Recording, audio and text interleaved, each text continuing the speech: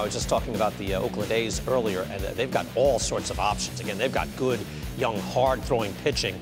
And again, also a nimble mindset led by their manager, Bob Melvin, who knows how to utilize his resources. He was asked about a possibility of a six man rotation as a way to attack this coming season a few days ago. For me, it's a con if we have to. Um, I'd prefer to go with a five. That means we have more guys available in the bullpen because you know your starters aren't going to go that long.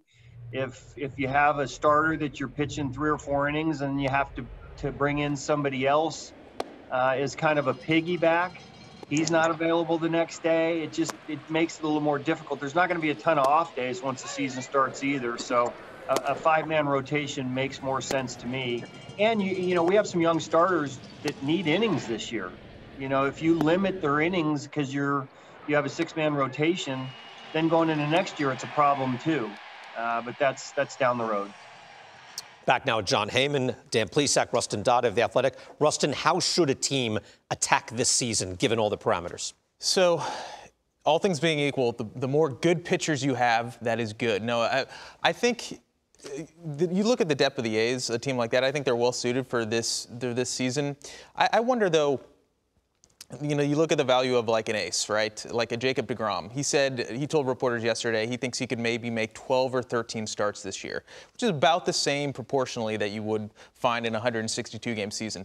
But, you know, you look at the value of a win in a 60 game season is better than the value of a win in a 162 game season. So I think those top line guys who are going to give you a better chance to win on a certain day are actually more valuable in a 60 game season. Mm-hmm. I think I think the math breaks out like that. I haven't haven't done the math myself, but I think it is like that. So if, if you look at these teams with um, for instance, the A's, we, why you wouldn't want to go with a six-man rotation. You want to make sure your your best pitcher, your best one or two pitchers, are starting every fifth day.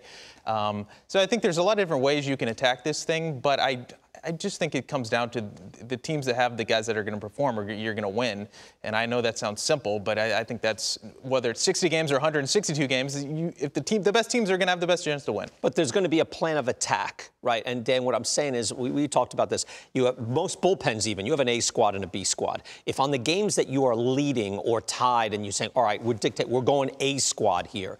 I think there's a chance for teams like the Rays or the A's go full bullpen attack and have a real edge. There is, Brian. And I look at one team that jumps out at me, too, is the Yankees. The Yankees have a guy for just about every inning, for every situation. Mm. You have right, left, right. You have Britton. You have right, right, right. You've got Ottavino. So they have a lot of options. And I think in the 60 game format, you look at this Yankee, I mean, to me, you saw Tanaka was hit with a line drive, so but hopefully he's going to be okay. Gerrit Cole, to me, sets the top of that rotation. The two keys to me are James Paxton and Happ. If Happ comes back and pitches like we know they're, he's capable of, and to me, Paxton.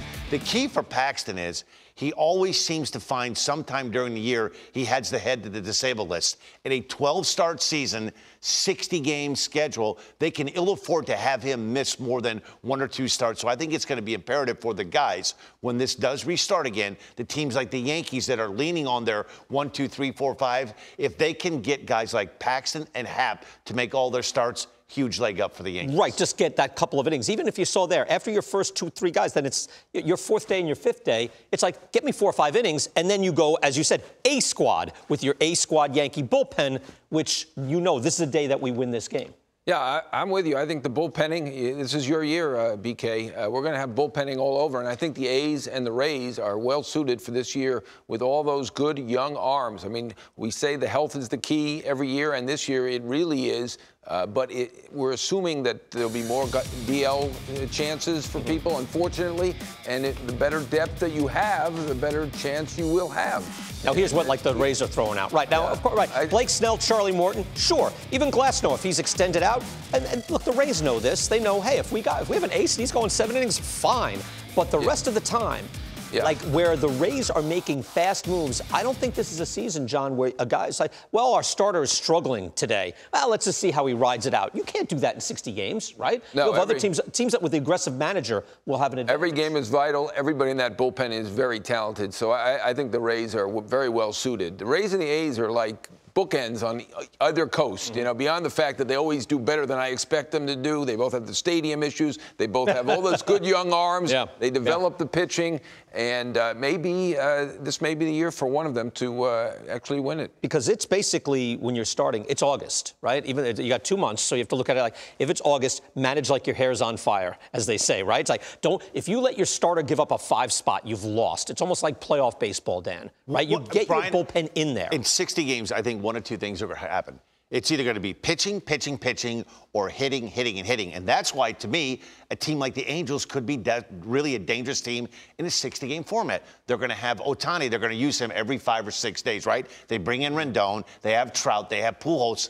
One of the things that we've knocked on the Angels the last four or five years, they don't have enough depth in that starting pitching. But in 60 games, if one or two of those pitchers that can get hot and stay healthy, the Angels could be right in this because they're going to score some runs. Do they even have the bullpen flexibility though? They, they do that. Like, I don't think they can play that game.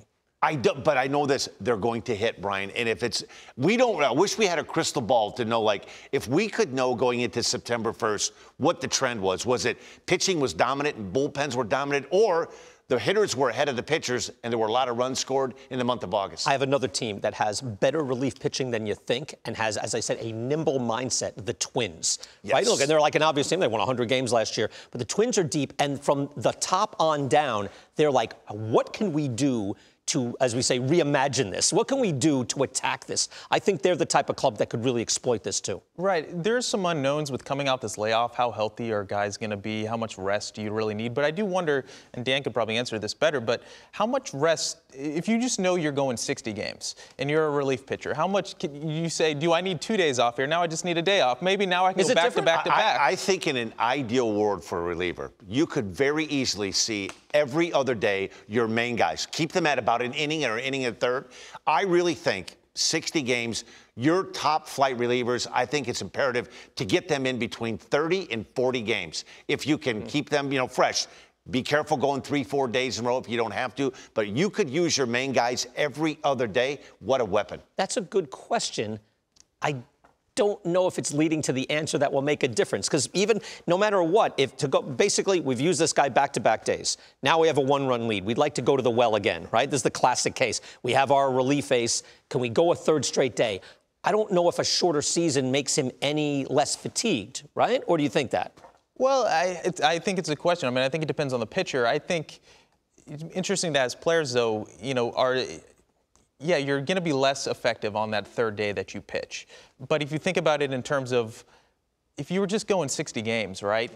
Is there a, is there a, is that is that more you know extreme in the second half of a season when you you know like right, are, are, right. are guys going to be able to pitch more than they normally would in a long season because they know they're only going 60 games.